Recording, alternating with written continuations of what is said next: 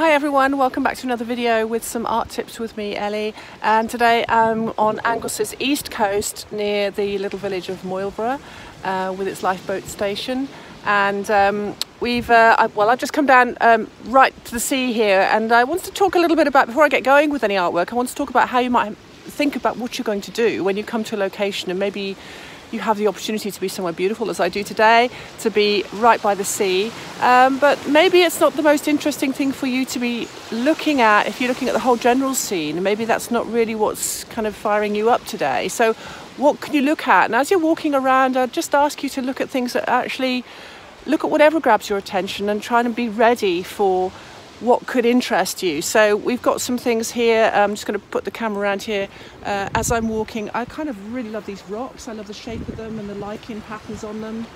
And I love these plants over here as well and this kind of interesting texture that we've got with uh, this dried, dried, um, almost rotten version of the plant. I'm not sure what it is. It's some kind of succulent. So I'm liking that as well. And then even going right down to the smaller level, I'm, I'm loving these um, orifices in the in the rocks here which actually each one's growing little plants as well. So don't just go for the big thing when you're out and about. Maybe look for the unexpected and look where you don't normally look or take an angle that you don't normally take. Um, I haven't quite decided what I'm going to do yet but in a minute I'll uh, make a decision and plonk myself down and uh, we'll get started on something Okay, so um, I've sat down now and I've decided that I'm going to make a study of um, uh, one particular rock that's in front of me actually because I'm really loving all these beautiful golden yellow colours that are on it and it's such a refreshing change now to see some yellows coming ahead of the springtime. Um, I just, uh, you can see there's lots of rocks I could have chosen or I could have chosen a big pile of them but I'm, uh, I've actually put myself down near this one here and um, I'm actually going to be sort of looking at this quite closely, I guess, and studying it and um, intensifying the colours a little bit as I've done in the last video.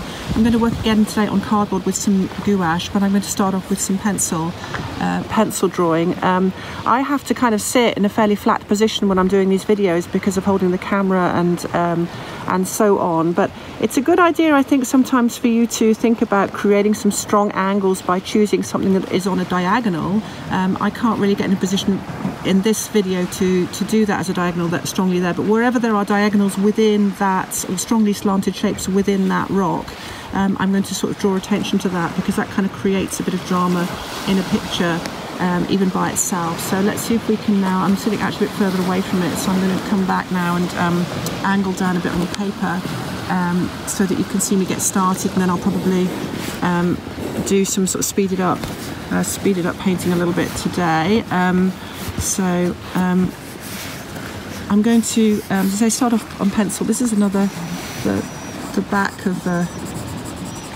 another sketch pad that I finished. so I like to use this and I'm just using a, a 4B pencil actually to draw on this. It shows up quite well on grey cardboard and I think if you're doing um, something that has already got quite a few greys in it, then it's quite a nice um, tricky positioning them actually today. Um, it's quite nice to use a sort of sympathetic colour for the ground as we call it. Um, I'm going to have to find another way to hold this.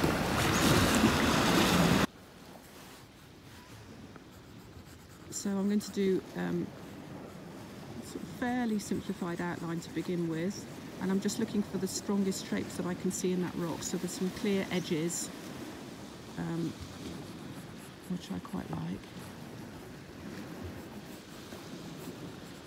So I'm going to give myself the basis of the shape to begin with in pencil. Nothing to say you can't go straight into paint, but um,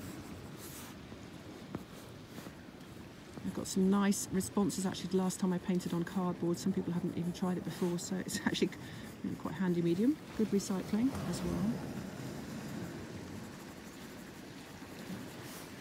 So most of the details I'm aiming to capture in paint, but as a sort of build, literal kind of building block to begin with, I'm going to map that out. And I'm thinking also about the time I've got, I'm prepared to sort of sit here, fairly chilly day. Just think a bit about, you know, what I can realistically do and practically do in the time that I'm giving myself to sit here. I'm quite warm at the moment because I've got about four jumpers on. Don't know how long it'll last once I've stopped start walking around. So, okay, so we've got a kind of a rough blocky outline there. There's a big gap underneath where the other rock is just sort of leaning on another rock down there and that's got some really beautiful, almost like lime green lichen patterns on it down there. The air is so pure and clear here, the lichen grows very readily on rocks and trees.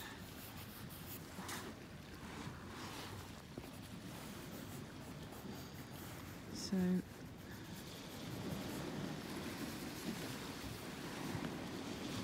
I'm really just doing those big things today, not even necessarily doing any kind of background. So this is really, it's like painting as a sort of process of studying really.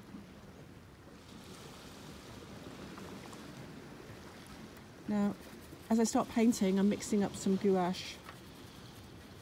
And my approach is to get a strong base colour down first. And I'm going to choose the middle tone of that grey. So I'm mixing up a grey. Um, it's got a little bit of, it's quite a warm grey, so I'm going to add, add a little bit of yellow into it, yellow ochre. Not too much though. Um,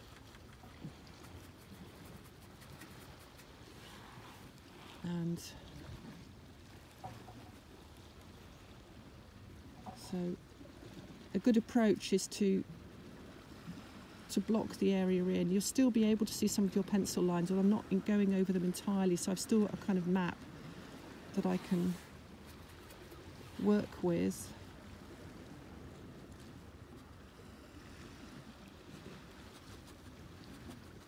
And then what I'm aiming to do is that's going to dry quite readily as we go along because the cardboard is so absorbent and it's actually quite, although it's cold, it's actually quite nice. Feels like a drier day than it has been. Um, less humid, so I think it's going to dry quite readily. And then after I've got the base colour down, I'll start to look at the, the darker grey shadows and then I'll look at the lighter grey areas as well. Um, and then start to look at the darker and lighter areas of yellows that are kind of interesting. And there's some black, I thought that is black lichen as well, actually, some other sort of lichen that's making black tones there. Um, so I'll probably put this, um, start to speed this up as a clip so that you can see the painting.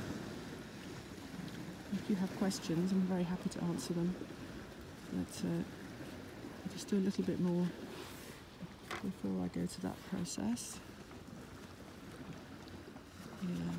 So you can add a little bit of white in as you see a sort of slightly lighter colours along the way. And be observant as you go about how the paint is changing colour as it dries because most paints do, some more than others. They'll slightly alter their look as they dry So you kind of build that into your expertise really. Um, so you can kind of begin to gauge, or if I do this sort of tone, then it's going to dry this kind of colour.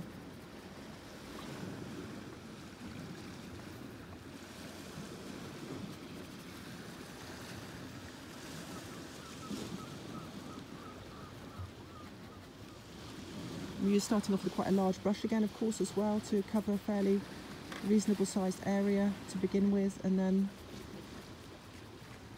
you'll find it easier just to use a slightly smaller brush. But I wouldn't necessarily use more than two brushes for a painting. It's quite, I'm just working on an A4 size, it's not very big. Um,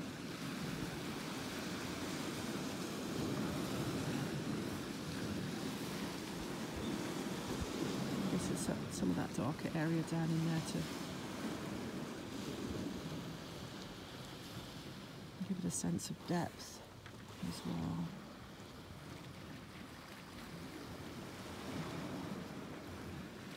So my process is going to be get the main greys, then look at the darker tones, then the lighter tones, and then go for some of those yellows. So I'm going to begin to speed up the video now and then talk again when I've done a bit of the work.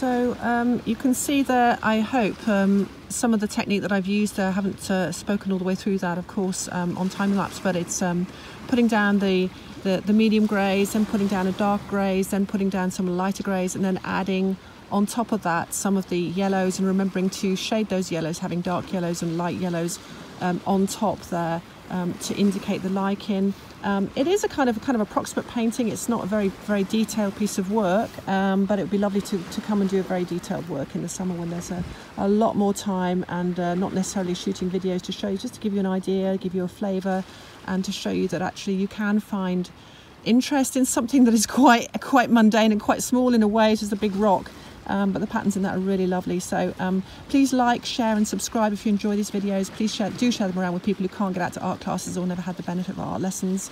Uh, maybe they'd like to try something new or, you know, just got a bit rusty. Maybe they used to do art, but they don't do it anymore. I've had some lovely responses from people. So um, I'd love to hear your thoughts and comments. Do, um, do let me know what you think or you have ideas for things you'd like me to try or different media. I'd be really happy to hear from you. So happy creating. Thanks very much for watching.